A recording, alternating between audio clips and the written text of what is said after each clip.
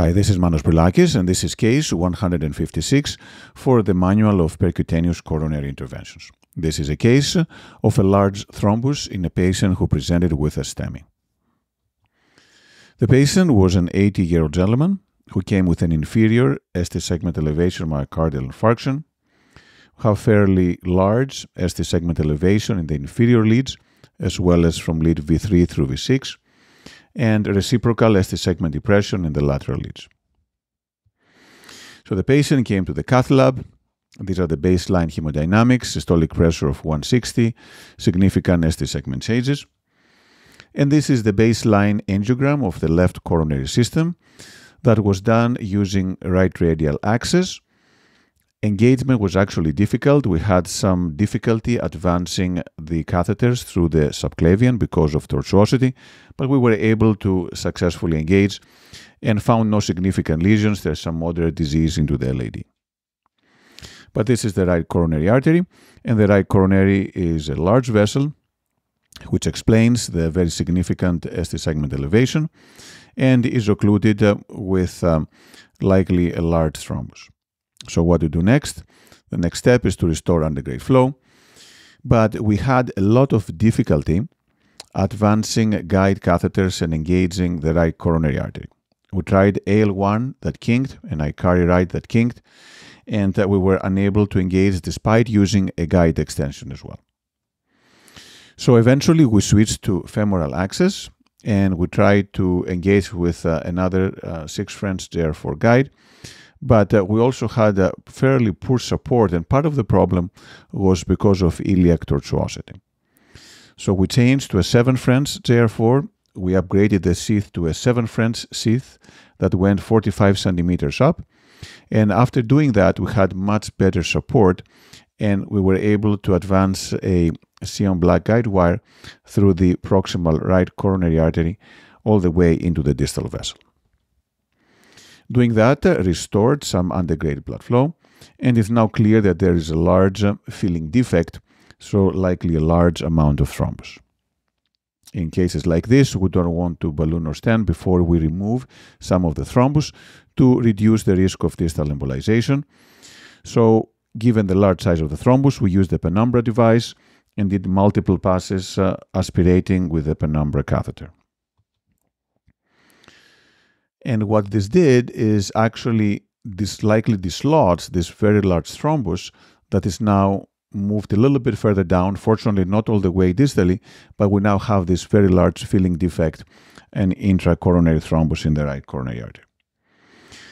This size of thrombus is unlikely to be removed by using the penumbra catheter alone. So what we did is we used a 6 French guide extension, which we had already from the attempts to engage radially, and then connected the side arm of the Y connector of the Tuohy to the penumbra pump. So we did uh, passes with uh, the guide extension back and forth into the right coronary artery, simultaneously aspirating using the penumbra pump through this guide extension. And although this results in a significant amount of blood loss, it is also much more effective, and actually we retrieved several large thrombi. After doing that, the vessel is now much better. We no longer see this large filling defect, although there is still some stenosis with plaque versus thrombus. As uh, it happens often with right coronary artery MIs, we did have significant hypotension and bradycardia. The blood pressure uh, went down to the 50s and 60s, and the patient was hypotensive. But then, after giving atropine and dopamine, his heart rate and blood pressure increased. After the patient stabilized, we did intravascular ultrasound that shows distally a nice vessel about 4 millimeters in diameter. And as we come further up, there is some calcification, but not circumferential. And then there is significant plaque versus residual thrombus into the proximal to mid uh, right coronary artery.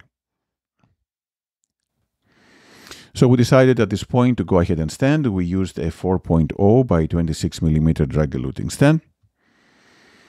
But unfortunately, we now have slow flow. So most likely what happened is we had some residual thrombus that may have embolized distally, decreasing the distal flow. What to do? Two things, giving intracoronary antiplatelet agents. So we gave intracoronary eptifibatide and we also gave intracoronary nicardipine. And we gave those using the penumbra catheter so as to optimize the delivery inside the right coronary artery and minimize any backflow into the aorta. And fortunately, after doing that, there was restoration of TIMI3 flow into the right coronary artery. We did an intravascular ultrasound again, and it showed that the stent was um, well expanded. There was some additional room for potentially post-dilating the stent and making it even bigger. But uh, overall, the area was good, and we decided against doing additional post-dilatations because that could likely increase the risk of um, having another no reflow. And we still have relatively poor flow into the um, right posterolateral branch. The hemodynamics were good. The EKG changes had significantly improved. Even though the blood pressure was lower, it was still okay at 100 systolic. So we closed the right femoral arteriotomy, and the patient had an uneventful uh, post procedural course. So, several lessons from this case. The first one is that uh, in cases of large thrombus burden, it is best to try to remove the thrombus before doing stenting or ballooning to minimize the risk of distal embolization. How to deal with large thrombus? In this case, we tried the penumbra catheter and aspirated, but the thrombus was too large.